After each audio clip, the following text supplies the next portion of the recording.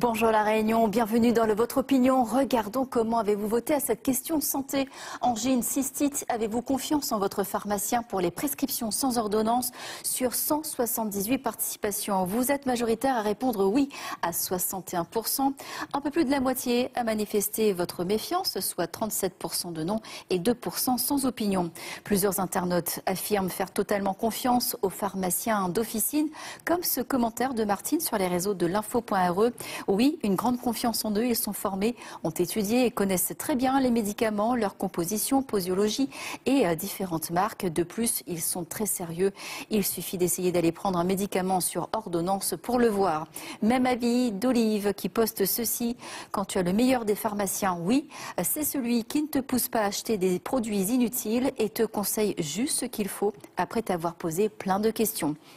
A contrario, défiance et scepticisme de certains euh, quand le prescripteur est celui qui facture le médicament. La question légitime à se poser est est-ce qu'il me prescrit le médicament meilleur pour moi ou meilleur pour sa poche s'interroge Vincent.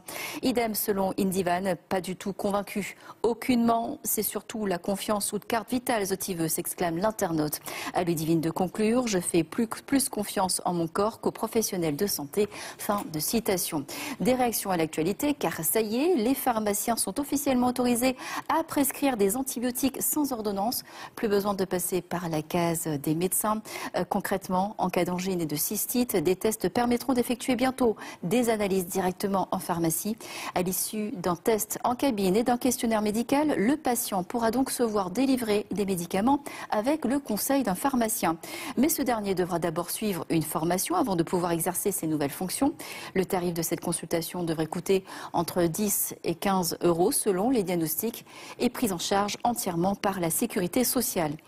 L'objectif de cette mesure, désengorger les cabinets de médecine. Toutefois, un certain nombre de médecins généralistes émettent des réserves. Selon eux, pour soigner les patients, rien ne remplacera un examen médical clinique complet.